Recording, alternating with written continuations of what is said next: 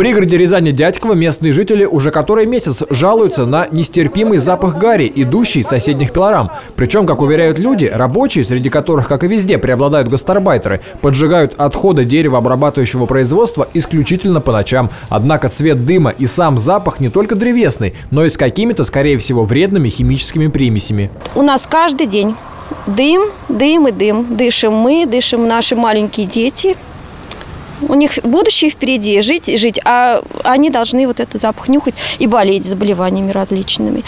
Администрация наша ничего не предпринимает. Местные жители пытались поговорить с руководством Пилорам, однако кроме гастарбайтеров застать никого не удавалось. И каждую ночь отходы полыхают вновь. Кроме этого, дядьковские жители жалуются и на забойный цех мясокомбината. По их мнению, и здесь работники предприятия переняли такую же практику сожжения биологических отходов. И сильный запах животной гари мешает уже и по утрам. Проблема задымления стоит уже достаточно давно. Это уже не сегодня, не вчера и не месяц.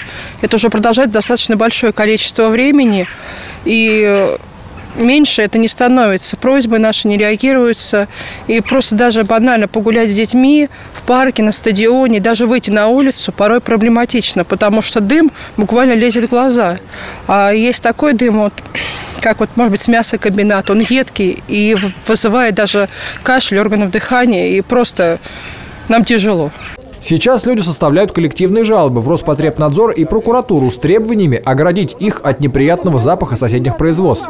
В Люберцах, как уже было сказано, потребовалось 10 тысяч подписей под народной петицией, чтобы власти обратили внимание на людскую беду и приняли меры. Сколько их понадобится в Дядьково, пока не ясно. Во всяком случае, истину, донесенную до наших времен Ильфом и Петровым, спасение утопающих – дело рук самих утопающих, ни годы, ни реформы, ни смена властных вех победить не могут.